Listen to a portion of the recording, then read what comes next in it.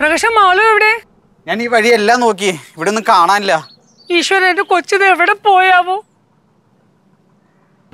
പ്രകാശ അവളെ കണ്ടോ? കണ്ടില്ല ഏട്ടത്തി. ഞാനൊരു കാര്യം പറയട്ടെ? എനിക്ക് പരിചയമുള്ള ഒരു പോലീസ് ഓഫീസർ ഉണ്ട് പുള്ളിക്കാരെ ഞാൻ വിളിക്കട്ടെ? ഈ പോലീസ് എന്നൊക്കെ പറഞ്ഞ വല്ല പ്രശ്നമാകുമോ ഒരു കുഴപ്പമില്ല അമ്മ. പുള്ളിക്കാരി ആണെങ്കിൽ നമുക്ക് മാളുവിനെ മോഹനെയൊക്കെ കണ്ടുപിടിക്കാൻ സഹായിക്കും. എന്ന് വിളിക്കേച്ചി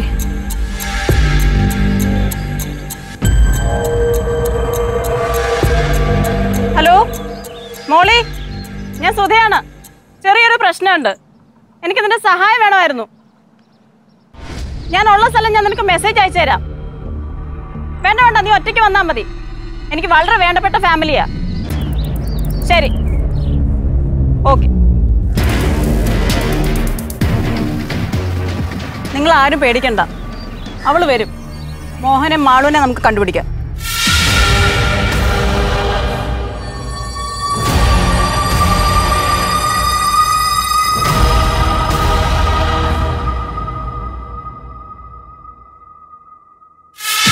അപ്പോൾ നിങ്ങളുടെ ഹസ്ബൻഡിനെ മകളെയും കാണാനില്ല. നിങ്ങളുടെ കഥ കേട്ടിട്ട് ഈ പറഞ്ഞ സാധ്യതകളൊന്നും തള്ളിക്കളയാൻ പറ്റില്ല. ഒരുപക്ഷെ നിങ്ങളുടെ എക്സാം എഴുത്ത് തടയാനായിട്ട് ആവണിയുടെ ഹസ്ബൻഡ് തന്നെ മകളെ തടഞ്ഞു വെച്ചിട്ടുണ്ടാവും. എന്റെ മോനെ അങ്ങനെയൊന്നും ചെയ്യില്ല. അങ്ങനെ ചെയ്യൂന്നല്ല ഞാൻ പറഞ്ഞത്. നമ്മൾ ഓരോ സാധ്യതകളാണല്ലോ അന്വേഷിക്കുന്നത്. മോഹന്റെ നമ്പർ സ്വിച്ച് ഓഫ് എന്നല്ലേ പറഞ്ഞത്? അതെ. എന്താണെന്ന് നമുക്ക് നോക്കാം. നമ്പർ ഒന്ന് തരൂ.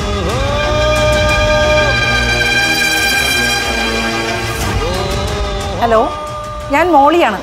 എനിക്കൊരു ഹെൽപ്പ് വേണം. ഞാൻ നമ്പർ അയക്കാം. അതിന്റെ ലാസ്റ്റ് സ്വിച്ച് ഓഫ് ആയ ലൊക്കേഷനും കോൾ ഡീറ്റെയിൽസ് എനിക്ക് വേണം. പിന്നെ ഞാൻ രണ്ടുപേരുടെ ഫോട്ടോസ് അയക്കുന്നുണ്ട്. അവർ രണ്ടുപേരും മിസ്സിംഗ് ആണ്.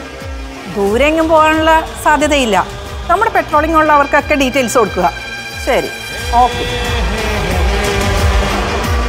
ഇനി മോഹന്റെയും മാളുവിന്റെയും ഫോട്ടോസും. അവരെ കാണാതായ നിമിഷത്തിൽ അവരിട്ടച്ച ഡ്രസ്സിന്റെ പാറ്റേണും കളറും എല്ലാം എനിക്ക് വേണം. ഇതൊക്കെ അവരെ കണ്ടുപിടിക്കാൻ പെട്ടെന്ന് സഹായിക്കും. സുധം എനിക്ക് ഇവരോടൊക്കെ ഒന്ന് സെപ്പറേറ്റ് സംസാരിക്കണം.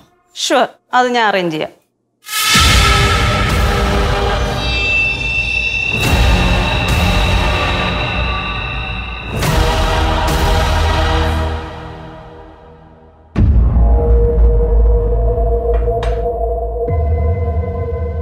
എനിക്കൊന്നും അറിയില്ല. അന്നേരത്തെ ദേഷ്യത്തിന് ഇറങ്ങിപ്പോവാൻ പറഞ്ഞതാ. പക്ഷേ അവൻ ചെയ്യുമെന്ന് വിചാരിച്ചില്ല. മാളു എവിടെയാ പോയതെന്ന് എനിക്കറിയില്ല.